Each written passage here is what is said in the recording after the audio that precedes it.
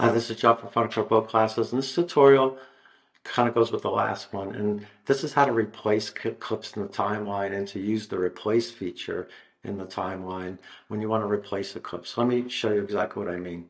So first of all, I have a timeline here, and let's say with this clip here, I want to replace it with something else, okay?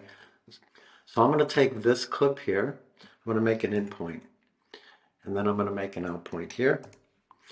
And I want to replace this clip right here. So I'm going to take it and drag it. And you see when it lights up, you get the plus sign and I let it go and I get this menu that comes up and it says replace. So what it's going to do is replace that clip with the new one. And it'll either pull in the timeline depending if the clip is shorter or it'll make the timeline bigger depending if the clip is longer. So it actually replaces one clip with the other. Okay, so I'm going to undo that. Now let's say that I want to replace a clip. I want a clip to start from here, this peace sign. I'm going to hit an in. Okay.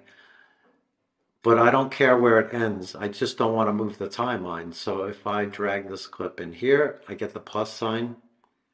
And this time I say replace from start.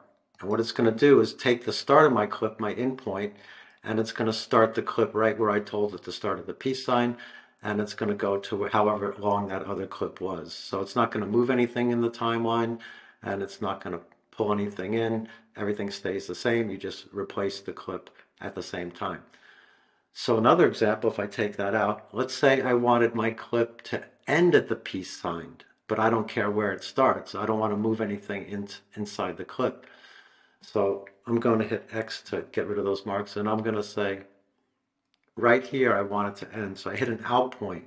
And it doesn't matter if I have an in point or not, because when I hit that out point where I want it and I drag it here and I drop it, I get that menu replace from end. So now it's going to take the end of where I marked the out point and replace the clip. And wherever that clip stopped in the beginning, my new clip will stop too.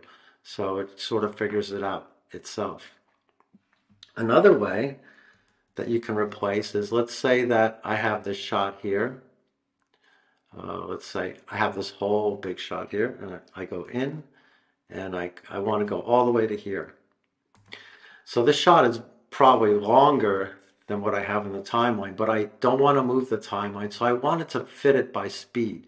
So if I drag the clip again down here, I get the plus sign and I drop it in. I can say replace with retime to fit. Okay, so what it's going to do is going to replace this clip and it's going to make it fit by speed. So what it has done, I'm going to turn off my skimmer for a second.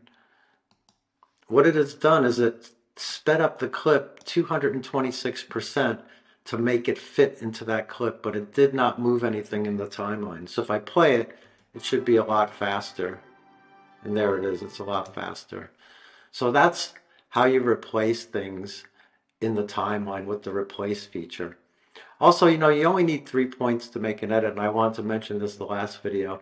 You know, you can make your ins and outs here, or you can make them out here. So for example, if I make an in here and I make an out here, and I want to do some B-roll, but I don't want it to go past here, I would only need an in point um, in my clip. So let's say randomly I would take this as my in point okay, and I make an in.